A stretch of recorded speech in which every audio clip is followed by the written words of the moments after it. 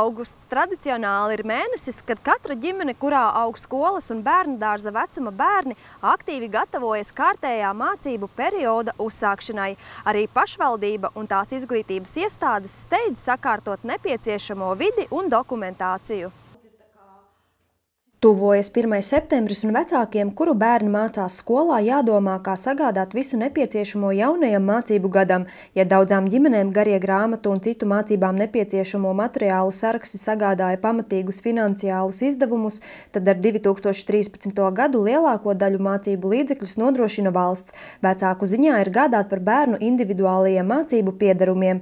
2016. gadam Talsu novadam valsts ir piešķīrusi nedaudz vairāk kā 61 tūkstoši eiro eiro lielu finansējumu, savukārt no pašvaldības budžetu grāmatu mācību līdzekļu iegādē ir atvēlēti nedaudz vairāk kā 85 tūkstoši eiro.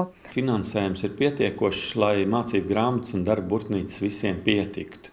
Eh, protams, ka var būt situācijas, kad kādā brīdī kādai no skolām kaut kas eh, nu, var sākt pietrūkt, bet nevis tā iemesla dēļ, kad uh, kad varbūt ir nepārdomāti kaut kas darīts, bet tā iemesla dēļ, ka ļoti daudzas lietas ir tādas, kas e, valstiski mainās. Novada izglītības iestādes jau laikus gatavojas jaunajam mācību gadam. Par jaunu mācību līdzekļu iegādi jau tiek domāts iepriekšējā mācība gada beigās, kad skolotājs izvērtē, kādus mācību līdzekļus un grāmatas izmantos jaunajā mācību gadā. Man patīk tas, ka mums ir vienlīdzīga attieksme novadā pret visām skolām šajā ziņā jo ir noteikts, eh, noteikts summa uz bērnu skaitu, ko pašvaldība maksā.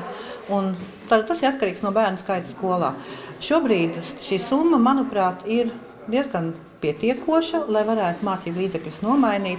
Nu, visas mācību grāmatas mums ir sagādātas, visas darba burtnīcas mums ir nopirktas. Ar mācību līdzekļiem mēs esam nodrošināti, ar mācību grāmatām arī. Protams, ka var būt vairāk naudiņas uz vienu skolēnu Šobrīd ir mācību līdzekļiem 21 eiro uz skolēnu iedalīti, bet mācību grāmatām 7 eiro. Nu, tas ir pamaz. Mācību grāmatas pietiek pilnīgi visiem, ir arī rezerves grāmatas, darba burtnīcas mēs iegādājamies uh, jaunākajās klasēs, pamatskolas klasēs. Principā pilnīgi visas.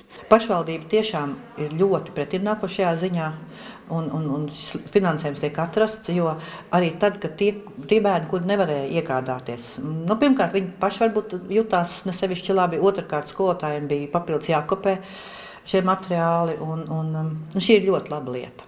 Jo, ja jau pamatizglītība mūsu valstī noteikti kā obligāta, tad valstī būtu arī jānodrošina visi nepieciešamie mācību līdzekļi, lai šo obligāto minimumu varētu skolēni iegūt neatkarīgi no ģimenes materiālās situācijas. Jaunajam mācību gadam Talsu novada pašvaldības sociālais dienests piešķir pabalstu mācību līdzekļu iegādēji trūcīgām un maznodrošinātām ģimenēm, kuru bērni uzsāk vai turpina apgūt obligāto izglītību atbilstoši normatīvajos aktos noteiktajam. Pabalsts tiek piešķirts vienu reizi gadā kancelēs preču, mācību grāmatu, darba burtnīcu vai citas izglītības procesam nepieciešamo preču iegādēji. Simona Anteļka, Terēza Matisone, Talsu televīzija.